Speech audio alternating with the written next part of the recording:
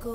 Sing that song, I see that show, they scream mine. I am the greatest fan. They scream mine. I am the greatest fan. Greatest fan connects the coolest fans on Cumulus to the hottest celebrities. And I'm talking to Amiyah at Essence Festival. How are you doing? I'm doing great. How are you? Can You're in your elegant red, It's my homecoming. I'm from New Orleans. So New I thought I would Orleans? Go a little over the top.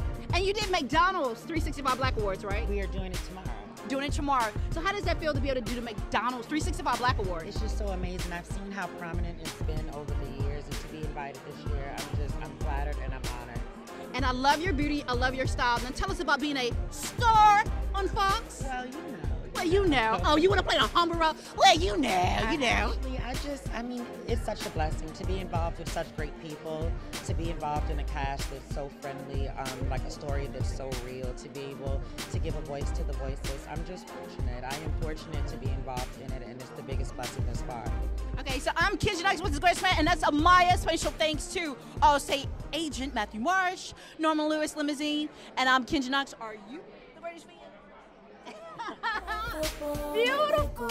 they. Sing that song, I see that show, they scream mine. I am the greatest They scream mine. I am the greatest fan. Play football, that cool. Sing that song, I see that show, they scream mine.